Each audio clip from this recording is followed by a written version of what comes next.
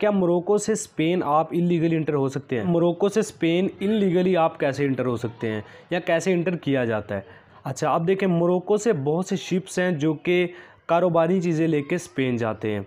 इसी समुद्री रास्ते के ज़रिए। बारे में थोड़ी डिटेल में बात करते हैं। देखें, स्पेन और मोरक्को, इन दोनों के दरमियान चौदह किलोमीटर का फासला है, जो कि समंदरी फासला है। बिसमीम असल उम्मीद है आप सब खैरियत से होंगे। आज की जो वीडियो है, इसमें आपको बताने वाला हूँ कि मोरक्को से स्पेन की डंकी कैसे लगाते हैं, क्या सारा प्रोसेस है और आप इजीली मोरक्को का वीज़ा कैसे हासिल कर सकते हैं। तमाम डिस्कशन अबाउट मोरक्को आपसे इस वीडियो में शेयर करूँगा कि वीज़ा कैसे हासिल कर सकते हैं कौन कौन से डॉक्यूमेंट्स पाकिस्तानी इंडिया से आपको चाहिए होंगे। एजेंट्स कैसे मोरक्को से लोगों को स्पेन ट्रांसफ़र करते हैं तमाम डिस्कशन इस वीडियो में आपके साथ करूँगा।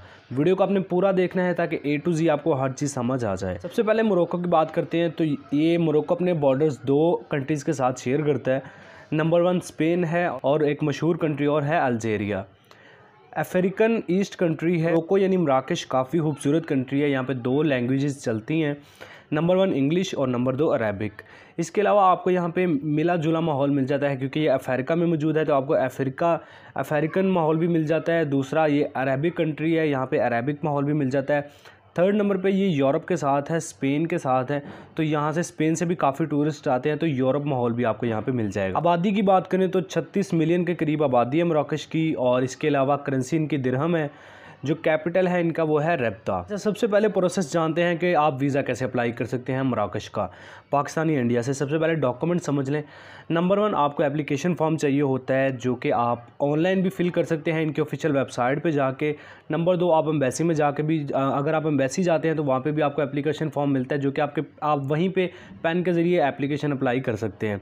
लेकिन मैं आपको सजेस्ट करूँ तो एक ऑफिशियली तरीका यही है कि आप ऑनलाइन लैपटॉप या घर बैठे कंप्यूटर पर ऑनलाइन ही फॉर्म फिल करके अप्लाई करें। आपका पासपोर्ट है जो कि कम अज़ कम लास्ट सिक्स मंथ तक के लिए वैलिड होना चाहिए।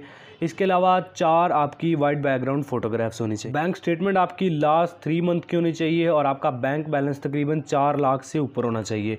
मतलब कम से कम आपका चार लाख होना चाहिए, जो कि आपका अकोमोडेशन फंड्स प्रूफ होगा कि आप वहाँ पे अपने अखराज उठा सकते हैं। इसके अलावा होटल एंड टिकट की कन्फर्म बुकिंग करवा लें, क्योंकि मराकश का वीज़ा हंड्रेड आपको मिल जाता है तो ये आपकी ज़ाया नहीं जाएगी। ये आपके नॉर्मल जो डॉक्यूमेंट्स होते हैं, आपका फैमिली रजिस्ट्रेशन यानी FRC certificate health certificate police clearance certificate आपका मैरिज सर्टिफिकेट अच्छा इसके अलावा आप बिज़नेस करते हैं तो बिज़नेस ये इंपॉर्टेंट नहीं है, इनके बगैर भी वीज़ा मिल जाता है, लेकिन अगर आप बिज़नेस करते हैं तो बिज़नेस डॉक्यूमेंट साथ अटैच कर दें।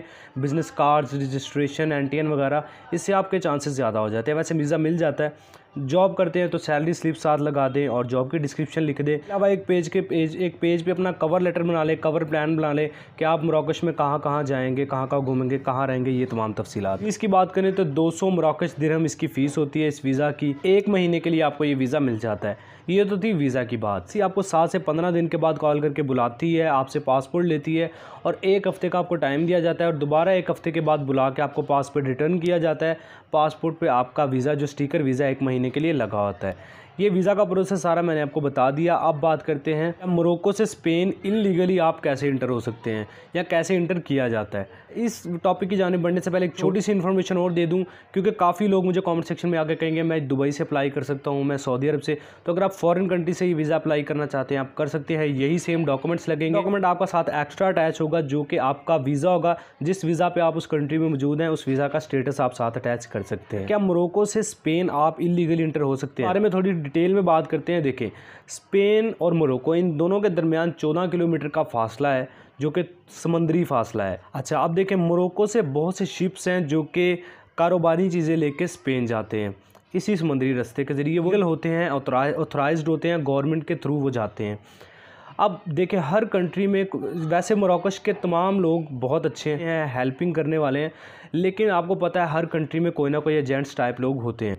तो जो मोरकश के एजेंट्स हैं, मोरकश के वो क्या करते हैं? वो इन शिप्स में इलीगल अफराद को बिठाते हैं। टंकी लगाने वालों से तकरीबन तीन से लेकर चार हज़ार यूएस डॉलर तक लेते हैं। फिर उन शिप्स में तीन से चार हज़ार यूएस डॉलर लेने के बाद उन शिप्स में इंटर कर देते हैं। उन शिप्स में उनको डाल देते हैं, जो मोरक्को से स्पेन कारोबारी चीज़ें लेके जा रहे होते हैं। अच्छा जब ये काम स्टार्ट हुआ था तो बहुत से लोग स्पेन गए इलीगली वहाँ पे सेटल्ड भी हुए असाइलम अप्लाई किए वर्क परमिट लिए, वहाँ पे सेटल्ड हो गए। लेकिन जैसे ही गवर्नमेंट्स को पता चला स्पेन की या मोरकश की गवर्नमेंट्स को पता चला कि ये इलीगली अफराद ऐसे मतलब इंटर होने हैं स्पेन में तो उन्होंने क्या किया? देखें, जो शिप्स होती हैं, ये होती हैं लोहे की। कि जो शिप्स हैं, यही मोरकश से लेके मोरक्को से स्पेन जाती हैं कारोबारी चीज़ें लेके।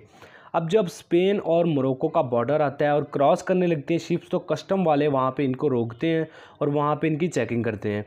चेकिंग वो ऐसे नहीं करते कि खोल के हर चीज़ ऐसे नहीं करते। वो बिजली की तार जो है, वो लगाते हैं इन शिप्स के साथ। और जो भी अंदर बंदा होता है, वो वहीं पे मर जाता है। अब क्या होता है, वो बाद में इन शिप्स को जाने देते हैं। शिप्स जब चले जाते हैं तो जब एजेंट्स जो होते हैं, वो आगे जाके यहाँ तो उन लाशों को समंदर में फेंक देते हैं, और यहाँ फिर किसी और बियाबान जगह में फेंक देते हैं। जो कस्टम वाले हैं, उन्होंने सिस्टम ही ऐसा रखा है कि वो कुछ तारे लगाते हैं शिप्स के साथ, जो जो भी इलीगल बंदा अंदर बैठा है, या कोई भी जानदार है तो वो मर जाता है। मोरक्को से स्पेन की डंकी का सारा अब सीन ये चल रहा है। क्योंकि जो एजेंट है, वो कभी भी नहीं आपको बताएगा कि कस्टम वाले आगे ऐसे करते हैं, वो आपसे पैसे पकड़ेंगे, और बाद में आप मरें या जिए, उनको कोई फ़र्क नहीं पड़ता। अच्छा यार, बहुत से फ्री वीज़ा कंट्रीज़ हैं, मैंने आपको कई वीडियोस में बताया है। फ्री वीज़ा कंट्रीज़ हैं, वो फ्री आप वहाँ पे जा सकते हैं, पाकिस्तानी इंडिया से वर्क परमिट लेके यूरो और डॉलर्स कमा सकते हैं वहाँ पे। आप जॉब कर सकते हैं बिज़नेस कर सकते हैं फ्री वीज़ा है, आपको वीज़ा की भी ज़रूरत नहीं कंट्रीज़ में जाने के लिए आपको वीज़ा की भी ज़रूरत नहीं है। अगर आपको नहीं पता कि कौन से वो कंट्रीज़ हैं, कैसे वहाँ पर जाएँगे तो मैं इन पर इन पर डिटेल से वीडियो बनाई है। डिस्क्रिप्शन में वीडियोज़ के लिंक मौजूद हैं। इस वीडियो के एंड पर भी वो वीडियोज़ शो हो जाएँगी। वो वीडियो लाजमी देख लें। अगर आप डंकी लगाने का सोच रहे हैं तो वो वीडियो देख लें। आप डंकी को भूल जाएँगे क्योंकि फ्री वीज़ा है। जॉब सैलरी वर्क परमिट कैसे आप लेंगे फ्री तमाम डिटेल्स उस वीडियो में प्रोवाइड की गई हैं। आप वो वीडियोस देख लें तो इंशाल्लाह आप डंकी को भूल जाएँगे। डिस्क्रिप्शन में उन वीडियोस के लिंक मौजूद हैं। जूल रस्तों पे जाने की बजाय आप लीगली जा सकते हैं फ्री वीज़ा में। इसके अलावा आप मोरक्को का वीज़ा अप्लाई करना चाहें तो मैंने आपको बता रखा है।